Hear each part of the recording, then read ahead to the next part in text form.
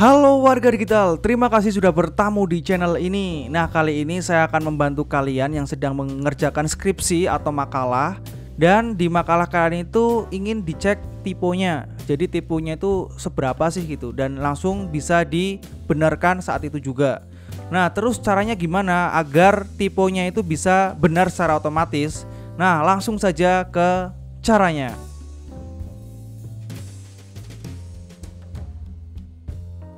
Pertama, silakan kalian save dulu dokumennya, dokumen di Word kalian.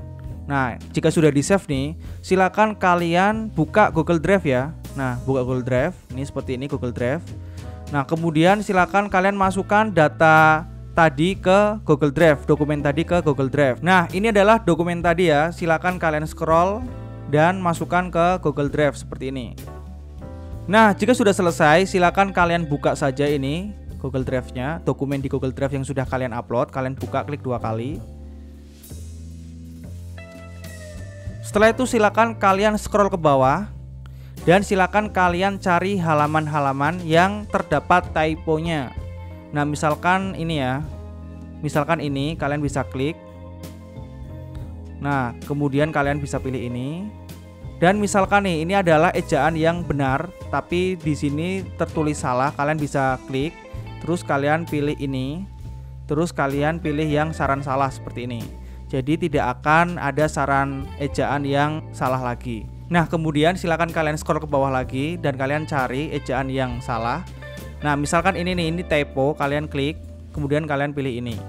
Dan seterusnya seperti itu ya ini kalian pilih saja seperti ini. Dan ini sangat mudah sekali dan ini sangat membantu dalam pengerjaan skripsi kalian atau tesis kalian atau makalah kalian. Nah kalian bisa klik-klik bagian seperti ini ya. Nah jika sudah nih kalian bisa save. Cara save nya gimana? Kalian bisa pilih file kemudian kalian download. Nah kemudian kalian download dalam bentuk Microsoft Word. Nah jika sudah terdownload nih kalian bisa buka file downloadannya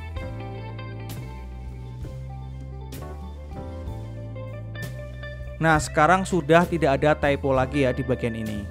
Nah, seperti itu aja. Nah, jika kalian terbantu dengan video ini, mohon klik tombol like dan subscribe.